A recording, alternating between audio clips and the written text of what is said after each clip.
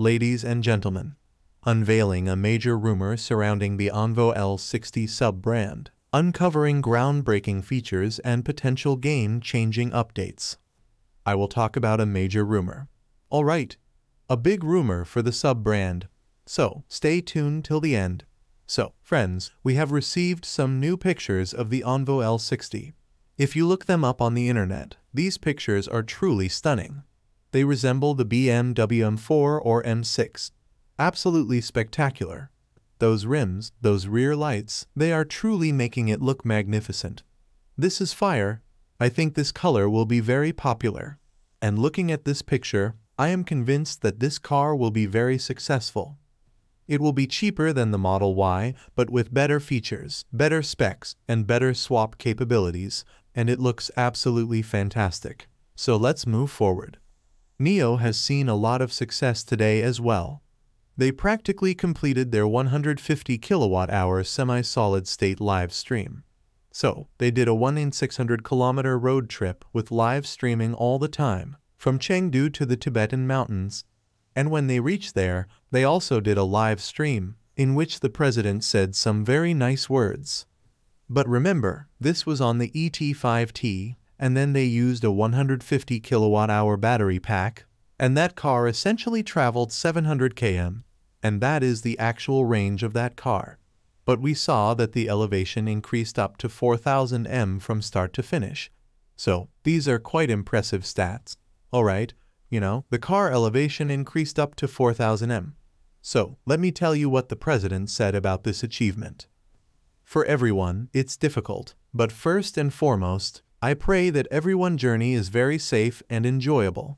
I have also understood some initial wisdom about ET5T battery life performance. This should be calculated along with the other powers, including an 880 km electric journey. And this 880 km feels very good because it's not from Linzhi to Chengdu, but it's from Chengdu to Linzhi, which is included in our beautiful but dangerous and tough roads. The point is that in this journey, there are altitudes of more than 4,000 m. I think that this combination of plateaus, low temperatures, and tough roads all together makes it a very difficult challenge for the car, the battery, and everyone. It's a very difficult challenge in any case. I am very happy at this high point. It's not just clean, but what's best is its experience.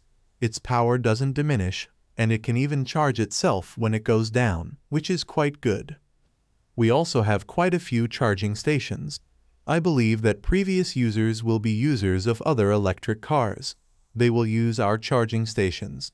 I believe that this charging and swapping network will further expand, especially with our flexible upgrade of 150 kilowatt hours of electricity. When this becomes easy, everyone will prefer to drive electric trams with more attention and will want to go out. In fact, they will be more eager to explore snowy mountains and lush green places. 150 kW of electricity is excellent. 150 kW of electricity will definitely be used for various types of tests and measurements in a flexible, upgraded manner. We have mainly conducted tests for production progress, which will start after a few months. So, all this has been said by the President. They were going up. While going down, they will regain a lot of power and maybe they won't even need charging. And going down, they might be able to go more than 2,000 kilometers without charging. And this battery will be available in every NIO.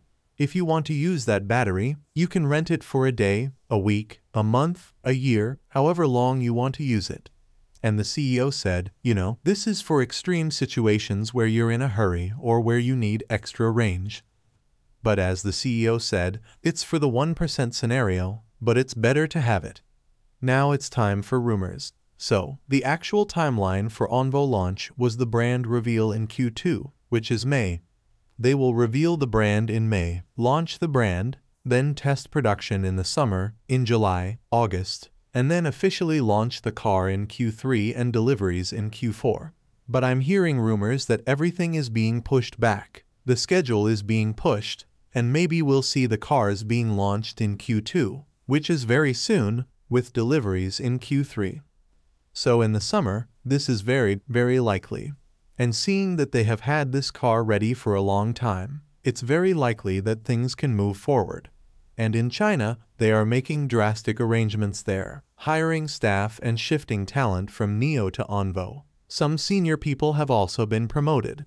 Alright, and I'll tell you that the NIO managers we're familiar with have been promoted to ONVO. Alright, and they have to get a lot of non-disclosure agreements signed from them, so they can't tell us anything.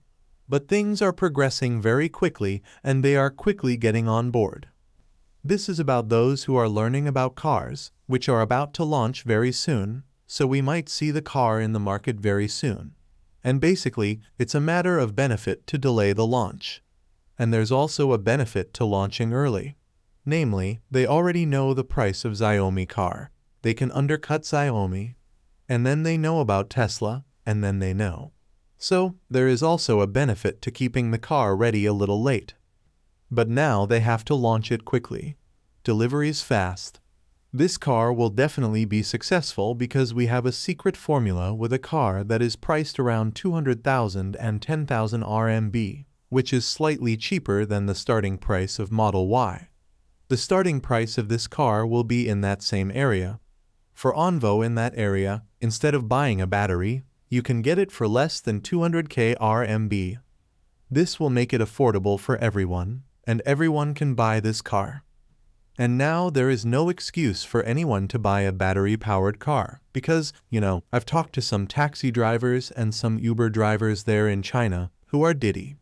But many of them have chosen hybrids instead of pure gasoline or pure EVs, always complaining that EVs have a big problem with charging and they don't have time to charge. But with gas cars, you know, gas is much more expensive than electricity. So this solves a big problem. You can find large taxi orders for this car in China, and people are buying this car with the intention of using it as an Uber ride-hailing vehicle with a bus. This makes complete sense. We haven't seen this with NIO because buying a NIO is a bit expensive. For this purpose, its depreciation will be very high. So, it doesn't make sense. But now it's finally happening. So, this will be very exciting, my friends. Apart from this, along with very good consumer sales, we will also see very good business-to-business -business sales. And don't forget that NIO owners can also buy this car with NIO owner discount perks, similar things. So, if I were to buy this car, I would also get a lot of discounts because of the privileges of NIO owners. I would also get a lot of NIO points and similar things. So, many NIO owners will also buy this car as their secondary car. So things are definitely looking good for NIO. Let's talk about the design. The previous leaked photos of the design were a bit distorted, but this design is looking so amazing, especially the rear part. What do you guys think about ONVO? I think it's going to be a huge success.